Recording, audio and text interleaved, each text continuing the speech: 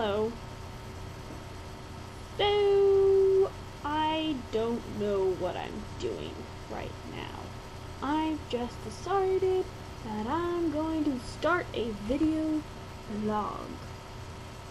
And it's just going to be my random thoughts about my life all the time because I'm a weirdo.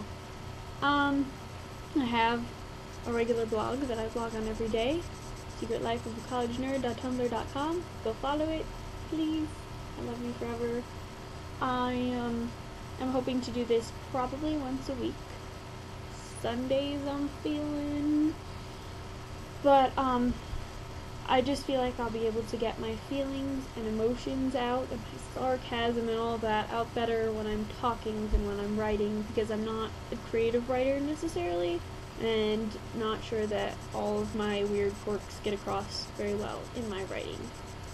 Um, hopefully this goes pretty well. And hopefully you can hear what I'm saying because I'm sorry if this is really crappy quality.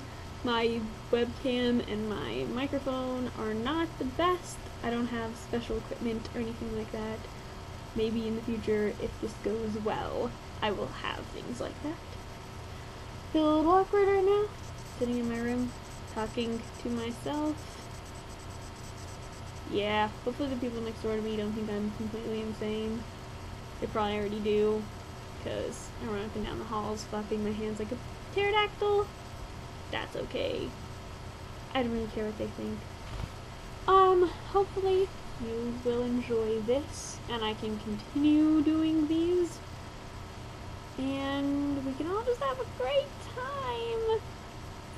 gonna end my videos the same way I end my blog, which is sort of weird because right now it's 4.30 in the afternoon.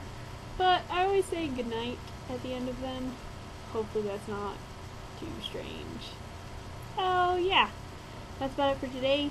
I might try and do another one tomorrow and actually talk about something besides rambling about starting a blog.